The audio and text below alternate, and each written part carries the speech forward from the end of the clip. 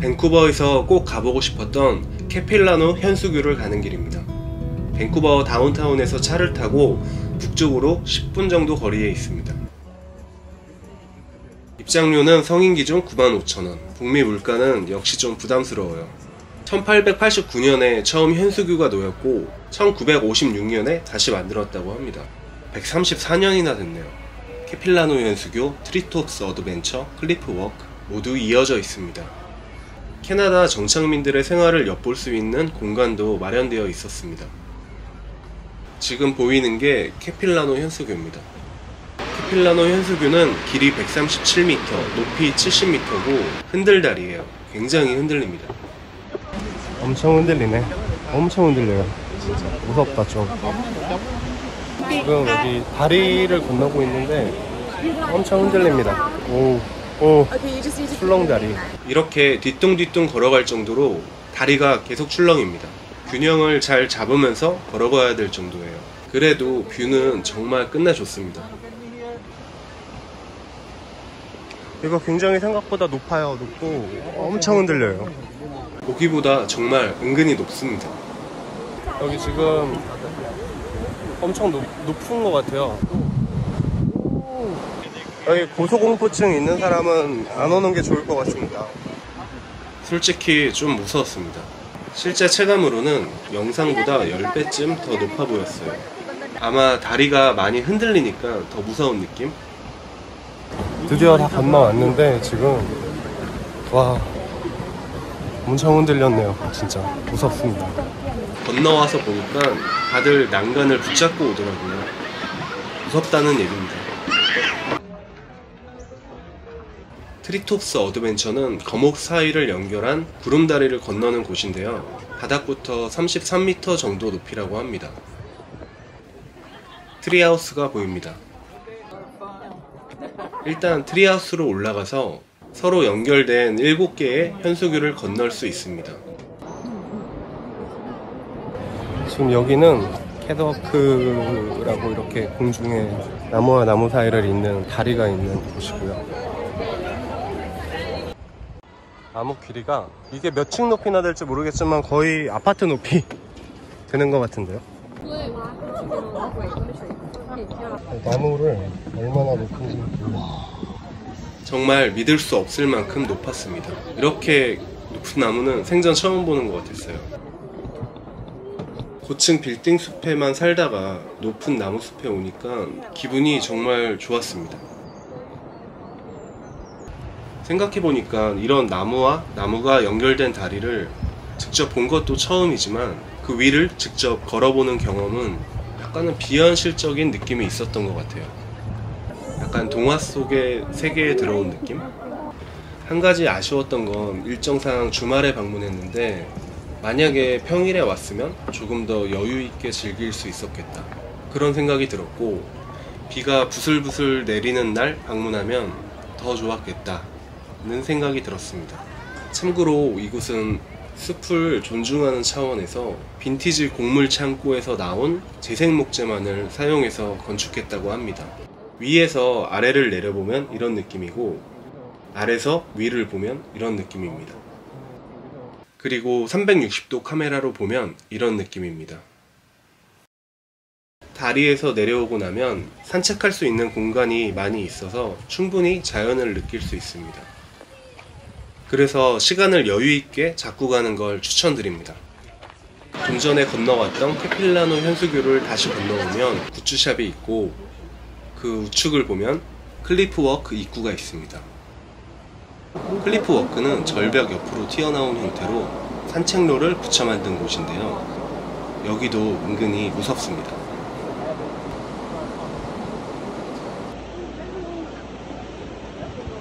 이 구간이 조금 공중에 붕 뜬 느낌이 나는데 사람들이 주로 사진을 여기서 많이 찍더라고요. 옆에서 보면 이런 느낌이고 위에서 보면 이런 느낌이고 멀리서 보면 이런 느낌인데 생각보다 높죠. 여기가 엄청 무서운 구역입니다. 바로 옆으로 계곡이 흘러서 물소리도 굉장히 듣기 좋고요. 길이는 그렇게 길지 않아서 금방 건너갑니다. 폭은 한 명이 딱 걸어갈 수 있을 정도예요. 캐필라노 현수교, 트리톱스 어드벤처, 클리프워크 3종 세트를 경험해 봤는데 자연을 가까이서 느낄 수 있는 좋은 시간이었고 밴쿠버에 오실 일이 있다면 정말 강추합니다. 밴쿠버에 오면 또 해야 할 일이 있는데요. 바로 자전거를 빌려 타는 일입니다. 다운타운에 자전거를 빌릴 수 있는 곳이 곳곳에 있는데 자전거를 타고 그 유명한 스탠리 파크를 가는 코스입니다. 스탠리 파크 바로 앞에 자전거 대여소가 있어서 진입이 쉽고 공원 안으로 바로 진입해도 되는데 저는 우측으로 공원 바깥쪽 길을 따라서 한 바퀴를 크게 돌았습니다. 스탠리 파크에서 보는 밴쿠버 다운타운 전경인데 굉장히 깔끔한 도시라는 느낌을 받았습니다. 자전거를 타는 사람들도 굉장히 많았고 공원 바깥쪽으로 바다를 끼고 달리니까 시원하고 view도 좋았습니다. 정말 평화로운 여유로운 그 자체. 이 도시에 살고 싶다는 느낌이 많이 들었어요. 스탠리 파크 북쪽에서 캐필라노 현수교에 갈 때 건넜던 라이언스 게이트 브릿지에서 잠시 쉬어갔습니다. 영화 데드풀 2 촬영지로도 유명하다고 합니다. 스탠리 파크 남서쪽으로 오면 세컨드 비치 스위밍풀에서 수영을 하거나 모래사장에서 잠시 쉬어갈 수 있습니다. 낚시 아니고요. 360도 카메라로 풍경을 낚아봤습니다. 자전거를 타고 스탠리 파크를 느껴보는 코스도 강추합니다. 밴쿠버 다운타운으로 돌아와서 자전거를 반납하고 다음 목적지로 향합니다. 밴쿠버는 최근에만 일 때문에 두 번 연달아 왔는데 멋있는 빌딩들이 많고 도시가 참 깔끔하다는 느낌을 많이 받았습니다. 캐나다 플레이스는 밴쿠버 엑스포가 개최되었던 곳이고 세계 유명 크루즈들이 정박하는 장소라고 합니다. 와, 진짜 이거는 직접 봤을 때 이게 크기가 말도 안 되게 지금 크네요. 여기 구명 보트도 엄청 큰데 뭐 엄청 많아요. 뭐 20개가 여기 넘게 있고 그리고 지금 밑에서는 뭔가 어, 짐을 싣고 있어요.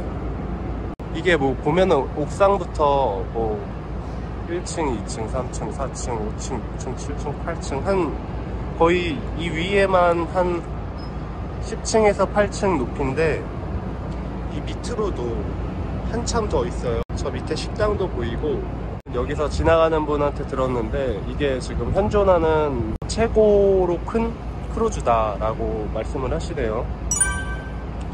지금 운 좋게 우연히 세상에서 가장 큰 크루즈를 타보진 못하고 앞에서 보고 있습니다. 아, 지금 저쪽에도 크루즈가 하나 있단 말이에요. 여기 보시면. 근데 이것도 작은 크루즈가 아니에요. 근데 바로 옆에서 이걸 보면은 정말 끝이 안 보여 끝이 정말 말도 안 돼 너무 커요 미쳤어요 진짜 이곳의 또 하나의 명물 수상 비행기입니다 실제로는 저도 처음 봤는데 되게 많이 날아다니더라고요 무리를 활주로 삼아서 빠르게 달리다가 이륙을 하는데 좀 신기했습니다. 건너편 노스 밴쿠버의 멋진 경관도 감상할 수 있어서 뭔가 더 멋있었던 것 같아요. 관광객들한테 인기가 많은 곳이라고 합니다. 아마 이곳에서 티켓을 구매하고 탑승할 수 있는 것 같았어요. 캐나다 플레이스도 추천합니다. 여기 다운타운이었는데 다운타운에서 이렇게 게스트하우스 쪽으로 오면서 분위기가 갑자기 이렇게 바뀌죠. 아주 그냥 유럽 유럽한 느낌. 증기를 뿜어내는 시계탑 쪽으로 가보겠습니다. 이쪽으로 가면은 바로 나와요.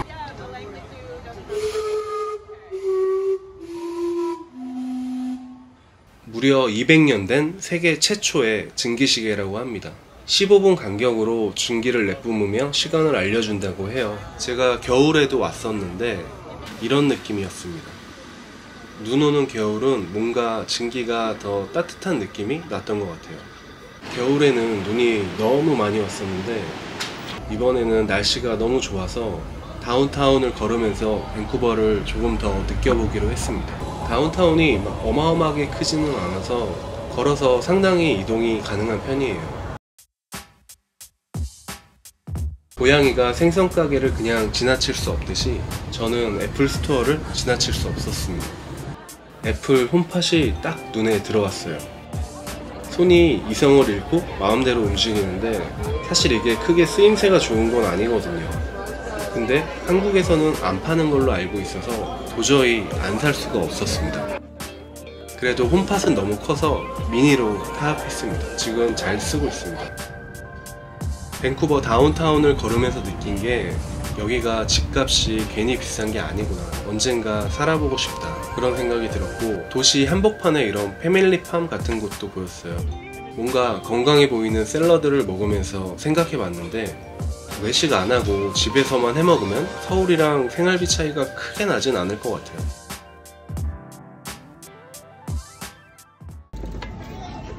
그리고 무엇보다 새로운 환경이 주는 값어치?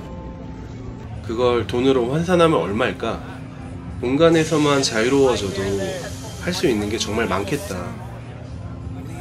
평생 같은 환경에서 안정감을 가지고 살아가는 것을 원하는 사람도 많지만 저는 완전히 반대인 것 같아요. 지구의 최대한 다양한 곳에서 사람들이 어떻게 살아가는지 보고 싶다. 궁금하다. 한국에서 사는 게 왜 행복하지 않을까? 답을 찾고 싶다. 어쩌면 우리는 사는 방식을 이미 세뇌당한 게 아닐까. 먹고 살기 바빠서 정작 자기 삶은 못 챙기고 있는 게 아닌가. 자기 삶은 스스로 챙기자. 그런 생각이 들었습니다.